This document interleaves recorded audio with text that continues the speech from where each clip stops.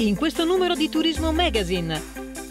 Alberghi, nel 2021 il 50% in meno di camere occupate. Turismo montano, in crescita le disdette, hanno raggiunto il 60% delle prenotazioni. La BIT cambia data.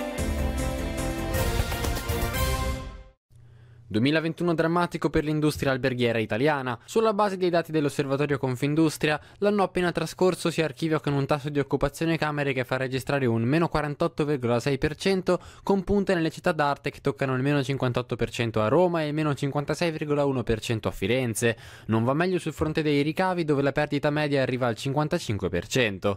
Dati in linea purtroppo con le rilevazioni Istat che nel solo periodo gennaio-settembre ha segnato una flessione sul fatturato ricettivo del 36%.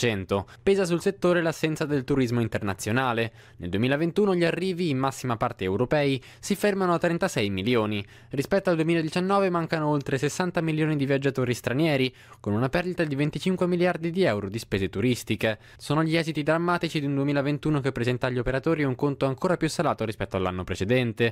Frontiere ancora chiuse, 6 mesi di fermo pressoché totale delle attività, lo stop della stagione invernale della montagna. L'estate ha alcuni segnali di miglioramento a settembre settembre e ottobre facevano ben sperare, ma l'arrivo della variante Omicron ha causato una brusca frenata che ha compromesso le feste di Natale e ha aperto una nuova fase di incertezza per i prossimi mesi. Per Maria Carmela Colaiacovo, presidente di Confindustria Alberghi, due anni come questi mettono a durissima prova le imprese, una difficoltà ulteriormente accentuata dall'assenza di aiuti che da luglio scorso non sono più stati rinnovati per il settore.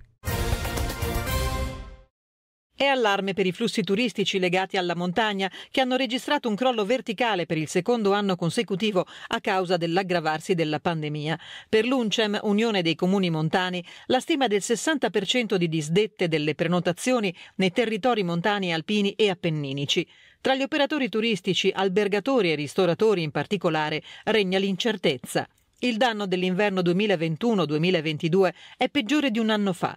Nel dicembre 2020 gli albergatori e i ristoratori sapevano che sarebbero rimasti con numeri ridotti, quest'anno no, e anche le spese sostenute per il magazzino di prodotti sono impossibili da ammortizzare. Le organizzazioni di categoria chiedono un impegno politico forte. Nessuno può escludere che serviranno ristori o fondi di rotazione ad hoc per le imprese turistiche. Sappiamo, sottolinea Luncem, che la montagna, gli spazi aperti e anche lo sci, le attività su pista, su neve e su ghiaccio, con mascherina e altre protezioni imposte dalle normative, causano meno contagi rispetto alle altre situazioni dove si concentrano molte persone. Se a questo si aggiunge una campagna vaccinale ad hoc, la vacanza in montagna diventa garanzia di sicurezza. La Borsa internazionale del turismo cambia data. Da febbraio si sposta in primavera, dal 10 al 12 aprile, mantenendo la sua formula che guarda alle mete turistiche dell'Italia e del mondo e propone attraverso i suoi espositori un'offerta completa per l'incoming e l'outgoing.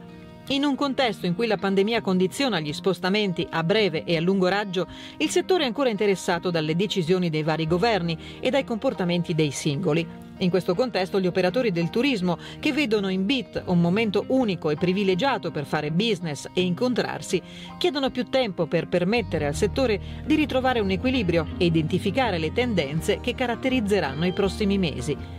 Da qui ad aprile l'osservatorio di BIT sarà attivo per monitorare la situazione e identificare le soluzioni ottimali per rilanciare il settore. Da sempre in ascolto del mercato, BIT continuerà a confrontarsi con gli operatori per realizzare una manifestazione al passo con le esigenze e il contesto attuale. Obiettivo è garantire gli alti standard offerti dalla manifestazione in un contesto ricco di opportunità che si spera la primavera potrà offrire. Le date di aprile sono state infatti scelte per consentire agli operatori di promuovere con forza la stagione turistica a 360 gradi.